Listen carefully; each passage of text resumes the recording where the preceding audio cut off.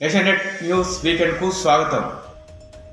ఐదు రాష్ట్రాల అసెంబ్లీ ఎన్నికల ఫలితాల్లో కాంగ్రెస్కు నిరుత్సాహం బీజేపీలో జోష్. ఐదు రాష్ట్రాలకు ఇటీవల జరిగిన అసెంబ్లీ ఎన్నికల ఫలితాలు ఈ నెల పదవ తేదీన వెల్లడయ్యాయి. అయితే ఈ ఎన్నికల ఫలితాల్లో కాంగ్రెస్కు నిరాశను మిగిల్చాయి. పంజాబ్ రాష్ట్రంలో అధికారంలో ఉన్న కాంగ్రెస్ పార్టీ అక్కడ అధికారాన్ని కోల్పోయింది. ఈ రాష్ట్రంలో ఆప్ అధికారాన్ని చేజిక్కించుకుంది. మిగిలిన రాష్ట్రాల్లో కూడా కాంగ్రెస్ పార్టీ ఆశించిన ఫలితాలను దక్కించుకోలేదు. యూపీ రాష్ట్రంలో ఆ పార్టీ ఘోర పరాజయాన్ని చవిచూసింది కాంగ్రెస్ పార్టీకి ప్రచార బాధ్యతను నిర్వహించిన ప్రియాంక గాంధీ ఈ రాష్ట్రంలో విస్తృతంగా ప్రచారం నిర్వహించినప్పటికీ కూడా ఫలితం దక్కలేదు. ఉత్తరప్రదేశ్ రాష్ట్రంలో రెండోసారి బీజేపీ తన అధికారాన్ని అధికారంలోకి వచ్చింది. అయితే గతంలో కంటే కొన్ని సీట్లను తగ్గి కొన్ని సీట్లు మాత్రం బీజేపీకి తగ్గాయి. అయితే సమాజ్వాదీ పార్టీ ఓట్లను సీట్లను గతంలో కంటే పెంచుకుంది. అయితే ఈ దఫా ఇతర రాష్ట్రాల్లో కూడా కాంగ్రెస్ పార్టీ ఆశించిన ఫలితాలను సాధించలేదు. బీజేపీ మాత్రం మిగతా రాష్ట్రాల్లో కూడా అధికారానికి ఈ, చేరువైంది. మొత్తంగా కాంగ్రెస్ పార్టీ నాయకత్వం తీరుపై ఈ అసెంబ్లీ ఎన్నికల ఫలితాల నేపథ్యంలో అసంతృప్తిగా ఉన్న నేతలంతా అసమ్మతి నాయకులంతా కూడా తీవ్రంగా విమర్శలు చేసిన పరిస్థితి నెలకొంది. సిడబ్ల్యూసి సమావేశంలో ఈ అంశానికి సంబంధించి అసమ్మతి నేతలంతా కూడా గలమెత్తే అవకాశాలు లేకపోలేదు.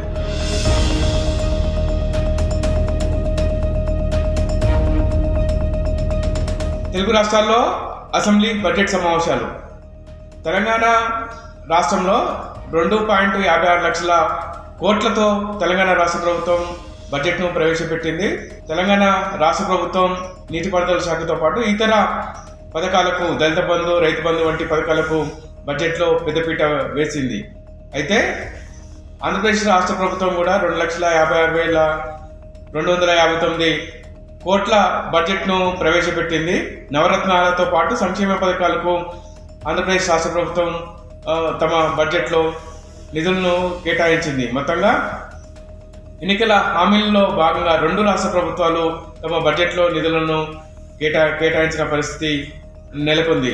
ఈ నెల ఏడవ తేదీన తెలంగాణ ప్రభుత్వం బడ్జెట్ను ప్రవేశపెట్టగా ఈ నెల పదకొండవ తేదీన ఆంధ్రప్రదేశ్ రాష్ట్ర ప్రభుత్వం బడ్జెట్ను ప్రవేశపెట్టింది.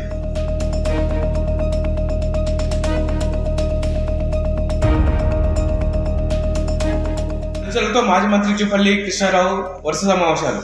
మాజీ మంత్రి జూపల్లి కృష్ణారావు గత కొంతకాలంగా టీఆర్ఎస్ కార్యక్రమాలకు దూరంగా ఉంటున్నారు. అయితే గత వారంలో ఆయన ఖమ్మం జిల్లాలో టీఆర్ఎస్ అసంతృప్తి నేత మాజీ ఎంపీ పొంగులేటి శ్రీనివాసరెడ్డితో భేటీ అయ్యారు. ఆ తర్వాత నియోజకవర్గంలోని పలు మండలాల్లో తన అంచులతోటి జూపల్లి కృష్ణారావు సమావేశాలు నిర్వహిస్తున్నారు. అయితే జూపల్లి కృష్ణారావు బీజేపీలో చేరుతారని కొంతకాలంగా ప్రచారం సాగుతుంది. అయితే ఈ అంశానికి సంబంధించి ఆయన ఇప్పటి వరకు స్పష్టత ఇవ్వలేదు. కానీ అనుచరులకు ఈ విషయమై సంకేతాలు ఇచ్చినట్టుగా ప్రచారం సాగుతున్నప్పటికీ కూడా ఈ విషయమై అధికారికంగా ప్రకటన చేయలేదు. గత ఎన్నికలలో ఆయన ఓడిపోయినప్పటి నుంచి కూడా పార్టీకి ఆయనకు మధ్య కొంత గ్యాప్ నెలకొంది. అయితే అది క్రమంగా పెరుగుతున్న నేపథ్యంలో ఆయన పార్టీని వీడుతారనే ప్రచారం సాగుతున్న నేపథ్యంలో ఈ భేటీలకు ప్రాధాన్యత ఏర్పడింది.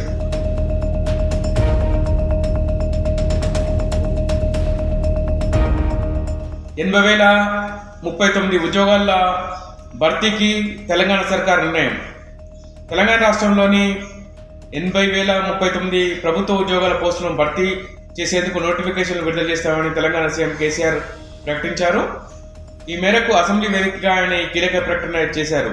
గత కొంతకాలంగా తెలంగాణలో ప్రభుత్వ ఉద్యోగాల ప్రకటనకు సంబంధించి ఉద్యోగ నిరుద్యోగులు ఎదురుచూస్తున్న నేపథ్యంలో అసెంబ్లీ వేదికగా కేసీఆర్ ఈ కీలక ప్రకటన చేశారు. పలు రంగాలకు సంబంధించి ఖాళీలకు సంబంధించిన ఖాళీల వివరాలను కూడా అసెంబ్లీ వేదికగా సీఎం కేసీఆర్ ప్రకటించారు.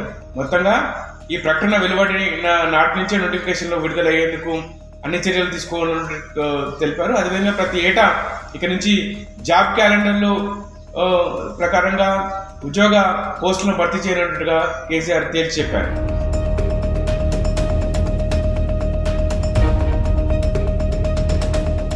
అస్వస్థతకు గురైన తెలంగాణ సీఎం కేసీఆర్ యశోదలో చికిత్స.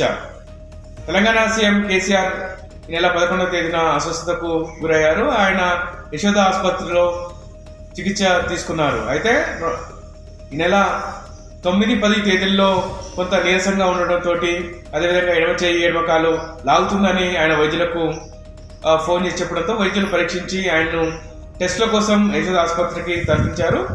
యాంజియోగ్రామ్తో పాటు ఎంఆర్ఐ ఇతర పరీక్షలు నిర్వహించిన వైద్యులు ముఖ్యమంత్రి కేసీఆర్కు ఎలాంటి ఆరో- ఆరోగ్య సమస్యలు లేవని తేల్చి చెప్పారు అన్ని పరీక్షల్లో కూడా నార్మల్గా ఉన్నట్టుగా ఫలితాలు వెల్లడించినట్టుగా కేసీఆర్ వ్యక్తిగత వైద్యుడు డాక్టర్ ఎంవీర్ రావుతో పాటు ఇతర వైద్యులు డాక్టర్ ప్రమోద్ కుమార్ డాక్టర్ విష్ణురెడ్డి కూడా మీడియాకు తెలిపారు. అయితే వారం రోజుల పాటు విశ్రాంతి అవసరమని వైద్యులు ముఖ్యమంత్రి కేసీఆర్కు సూచించారు. ఇటీవల కాలంలో జాతీయ రాజకీయాల సంబంధించి వరుసగా ఇతర రాష్ట్రాల్లో పర్యటించడం ఇతర రాష్ట్రాల ముఖ్యమంత్రులతో ఆ, సమావేశాలు కావడం అదేవిధంగా తెలంగాణ రాష్ట్రంలో పలు జిల్లాల్లో కూడా విస్తృతంగా ముఖ్యమంత్రి కేసీఆర్ పర్యటించడంతో పాటు ఆయా జిల్లాల్లో బహిరంగ సభల్లో పాల్గొనడం నేపథ్యంలో కొంత ముఖ్యమంత్రి కేసీఆర్కు అంటే నీరసంగా ఉన్నట్టుగా వైద్యులు అభిప్రాయపడ్డారు. వారం రోజుల పాటు ఆయన విశ్రాంతి తీసుకోవాలని సూచించారు.